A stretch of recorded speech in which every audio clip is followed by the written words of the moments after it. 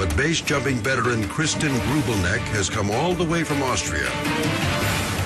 She won't be denied. Kristen steels her nerves.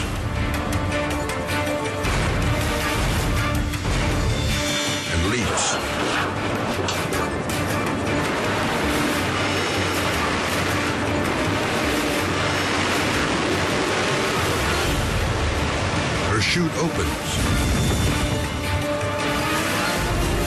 Then, a blast of wind.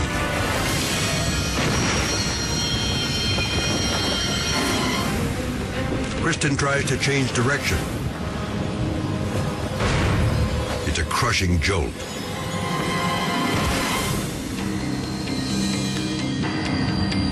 The Daredevil's chute remains open. But her nightmare is far from over.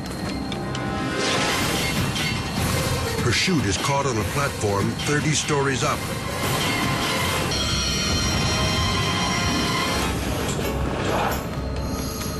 A crewman rappels down to her. He fastens Kristen to his harness.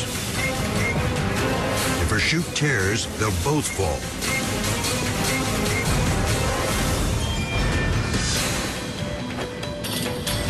Kristen is hoisted to the catwalk.